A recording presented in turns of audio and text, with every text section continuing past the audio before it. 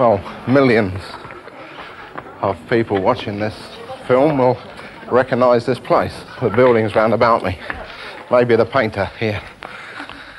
Because it's Clovelly, of course, place that you've all been for your holidays. I live across the bay. I've been coming here since I was a small boy to this very beautiful place. One of the gems, I suppose, of England. But of course, living in such a place has its problems, as we'll see as the film goes on. The generation that I knew, the older generation that I very much learned to respect, many of them have died in the last dozen years or so. But some of them we'll see in pictures by a lady called Melinda Perham, who we're going to see down on the beach.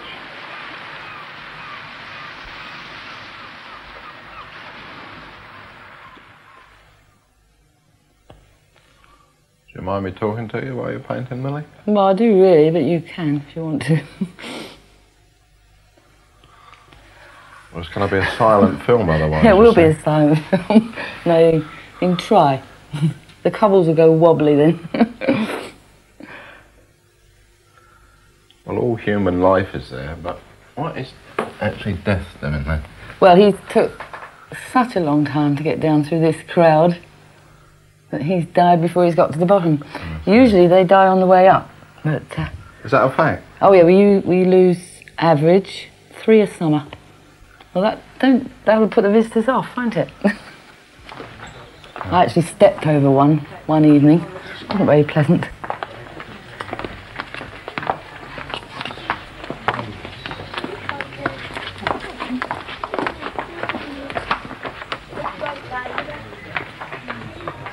So is there animosity with visitors? By August, there's animosity. And I don't know, they, they, I think because they can't really see it properly because there's too many people. And they, they moan and groan right down to the beach.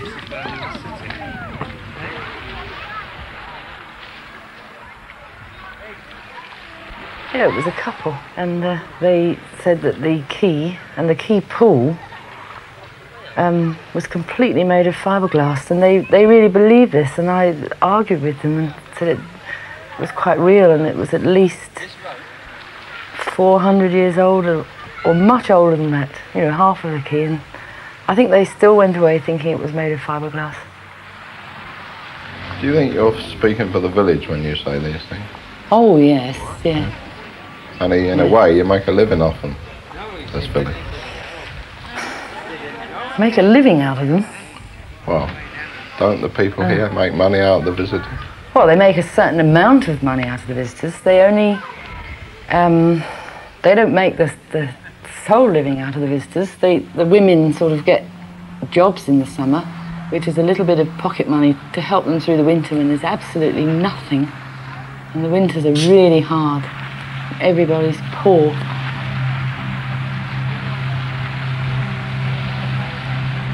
I mean, the village itself will still exist.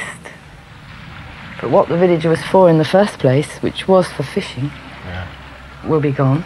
And it's just changing into a, just a tourist attraction. Which is, which it isn't.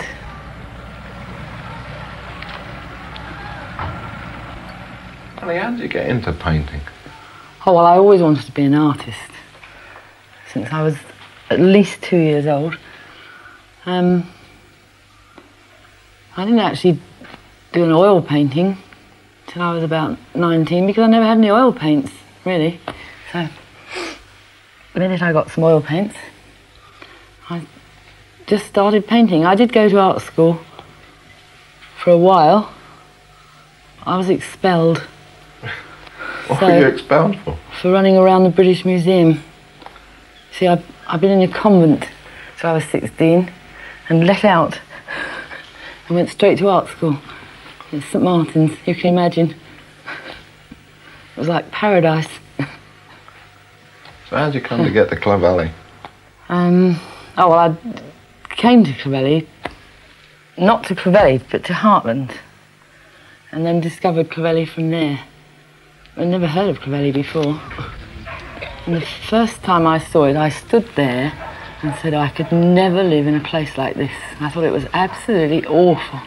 You know, because by the time I got to the bottom, my legs were shaking like jelly. I don't like heights.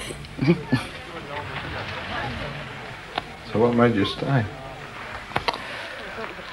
Um, partly, I suppose, because it was one way of getting somewhere to live that you could rent.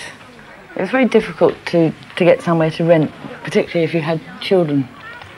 And um, the village was very low on children at that time. I think there was only other one other child, the same age as mine, and uh, it was practically dying on its feet through lack of children.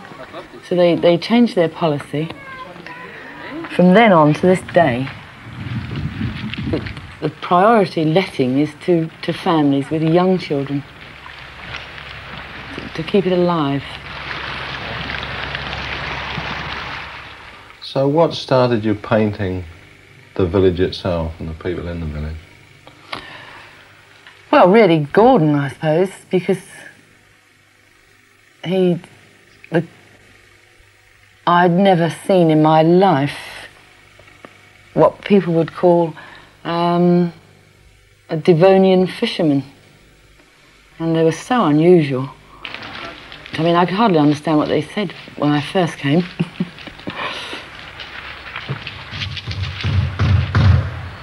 Gordon was Melinda's husband.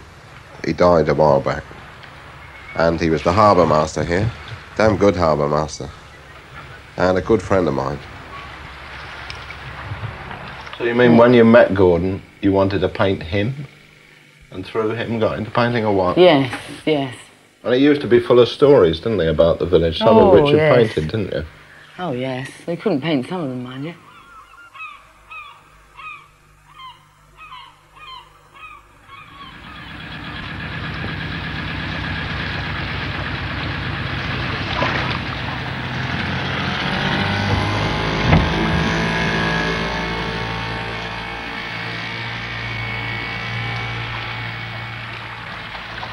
I decided to start collecting pictures of Clovelly. And of course, they weren't just enough, they weren't big enough. So I thought I'd do paintings of them to get them bigger. I'd like to go back in time and live in Clovelly in the 19th century. But you Which do, will never in be. a way, in your paintings, don't you? yeah, I, I think I'd go on painting Clovelly in the 19th century. I've even thought about trying to paint Clovelly in medieval times, but there again, you can't always, you can't go on living in the past.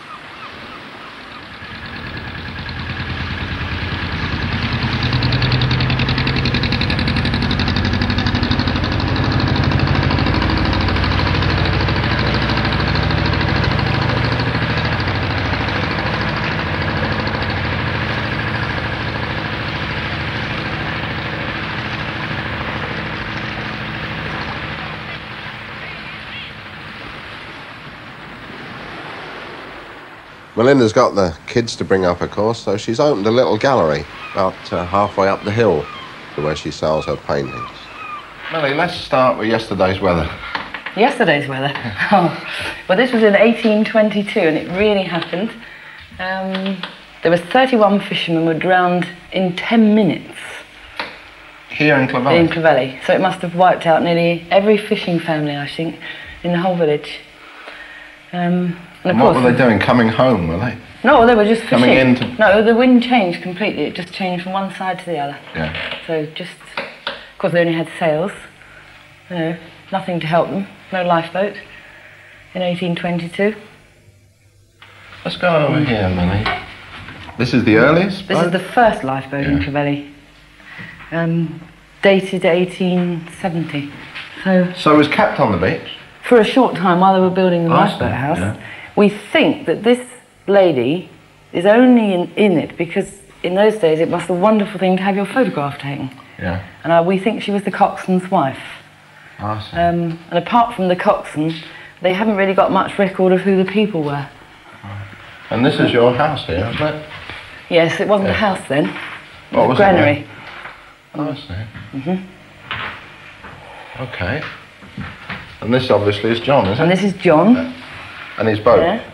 Because we watched it go out yesterday. Yeah. I don't know, he's going to sell his boat now.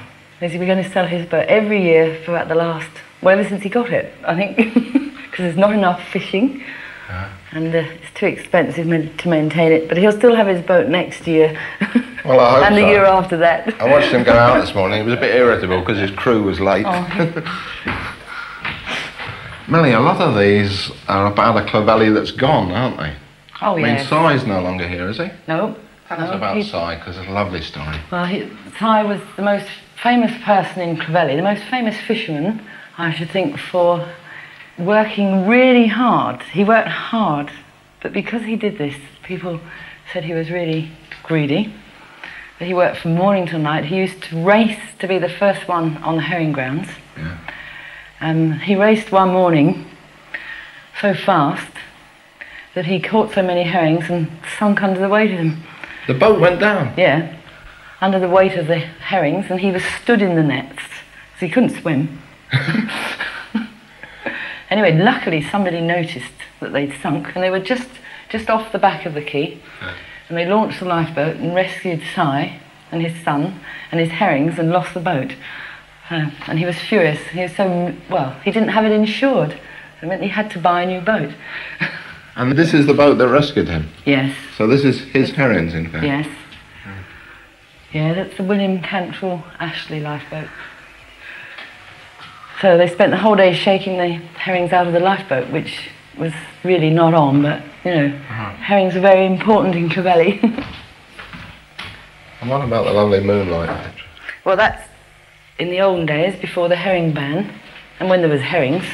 This was a shaking the herrings out in the night, um, in the winter, and that was absolutely freezing cold. I mean, you could, your hands would be just falling off. You know, you were so cold.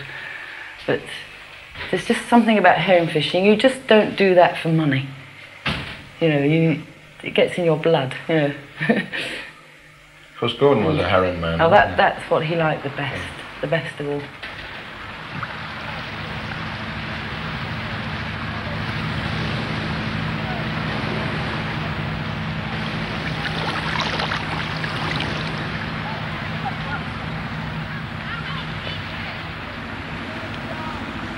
There's Stephen returning home. It was his dad, Gordon, that really turned the key on Clovelly for me, opened the place up. I'd been coming here a long time, but Gordon didn't speak to me for weeks and weeks. And one day he was in a particularly bad mood because the visitors had been jumping on his boat and driving the stones up through the hull. You know, a boat's built to be supported by the sea. And uh, then some the media men, me and the others arrived, and that was just about all he needed. So he got his dinghy out and took off, rowed out quite a long way, and just sat there. And I'd been chasing him for weeks, so I was annoyed too. So I hired a boat. I think it was off Skye. And I rowed out and took up alongside him and asked him about the fishing. And I think he quite liked the idea that I'd chased him out there. And he started talking, and I think I've never enjoyed a period so much in all my life as listening to Gordon talking about the way the herring run differently from mackerel, the way they lay, lay the nets differently, uh, the way that the government uh, regulations, you know, fools in offices who've never been in boats, have brought in regulations that allow the seabed to be dredged, destroying the, the breeding grounds and all those things. It was absolutely marvellous. It was an artist talking. Millie, you said your first big painting was of Gordon.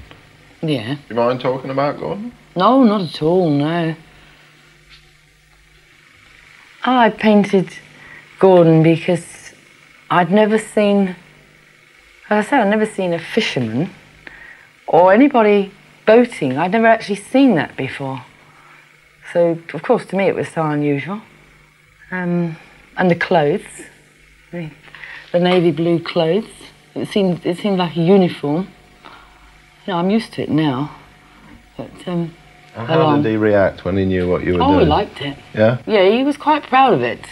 I, one time I could have sold it, and I wouldn't, and he was very cross. He would much rather have had the money. so, I'm glad I didn't sell it. Yeah, I didn't just, yeah, I painted myself first, and then Gordon. And then I painted Nicola, looking down on Nicola on the beach. That was, Oh, that's a beauty with the little crab in the corner. Yeah. Yeah.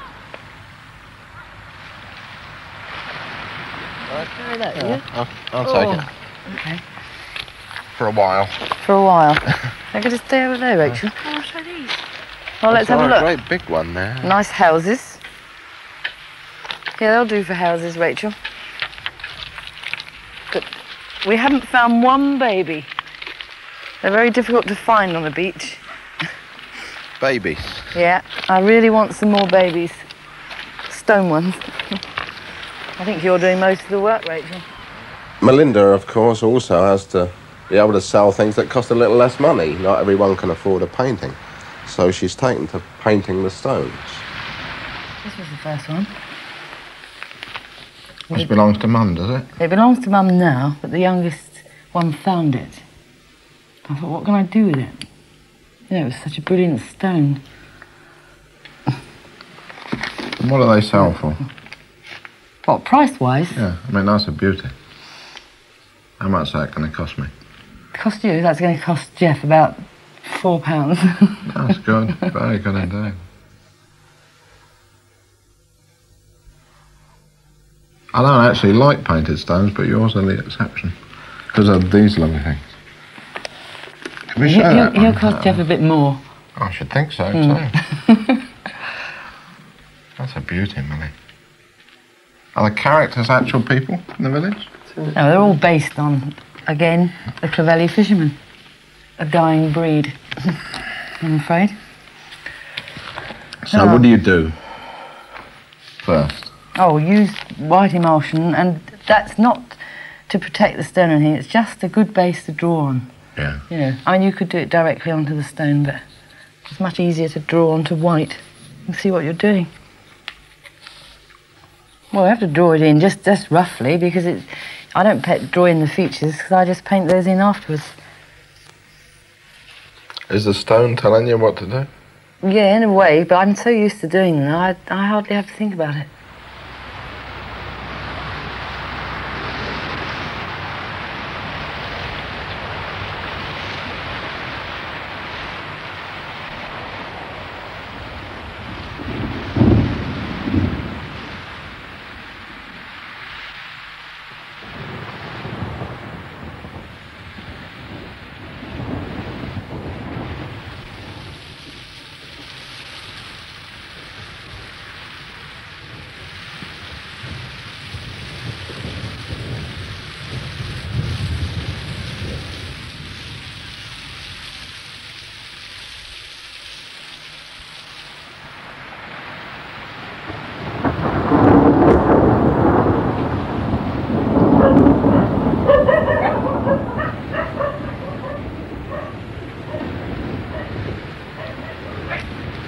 You need peace and quiet to work, Millie?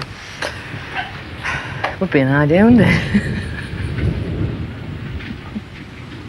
Not to do these, I don't. I do to do the paintings.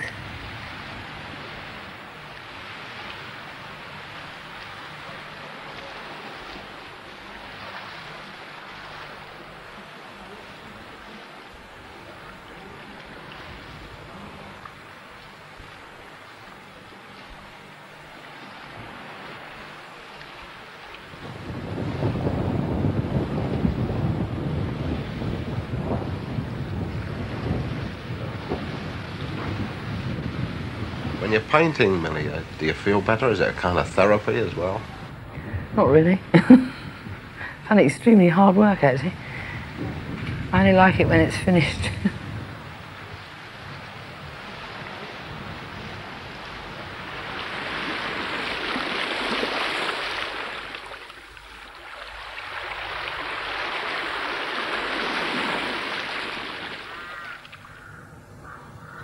Gordon's funeral was an incredibly moving affair. The whole village was there, and the lifeboat men, all in their blue uniforms, carried the coffin. And it was a very primitive business. They sang hymns that I hadn't heard since I was a boy, you know, the old rugged cross and things like that. And afterwards, they carried the coffin up through a very beautiful churchyard at the top of the hill here. And it was raining and windy, and as they lowered the coffin into the ground, but the whole village stood around, the lifeboat men fired a green rocket that went right up and turned above the, the graveside. The green rocket is the going home signal.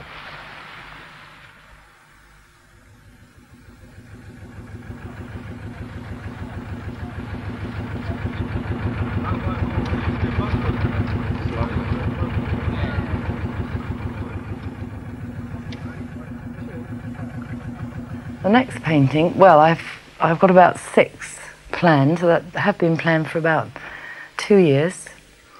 I wanted to paint Tommy and Stephen, two sons, because it's their turn. The three daughters having been their portraits done. Then I've got this particular one I'm going to do of Gordon standing on the end of the quay, and it's already titled, and it's going to be called Harbour Master Sui Generis, which is Latin, and it means unrepeatable, and there will be no other harbour master ever like this one, or ever again in the future. You've got to go on living, and the only thing I've, apart from bringing up Rachel until she's grown up, the only thing I've got left is painting, and I'm sure that Gordon would have hated me to stop painting. Yeah, I'm You- sure of that. too. Um, he actually left letters. Uh, quite funny, really, because one line is keep away from men and keep on painting. Is that right? yeah, yeah. So um, I don't know about keeping away from men, but I shall certainly. I didn't want to paint for a while, I knew that I would have to. You know, and a lot of the new paintings will be of Gordon, or one of them will definitely be of Gordon, and just try and capture, um, like, the, well, what he treasured about Clovelly, just in the last few paintings.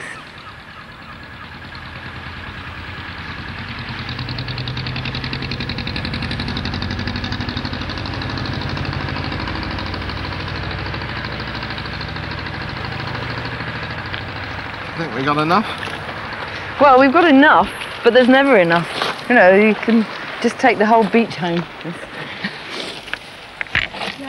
I never know when to stop. No, no. Nothing at all. I know I've got the whole beach in my house. Yeah, but it's never enough. I always do with some more.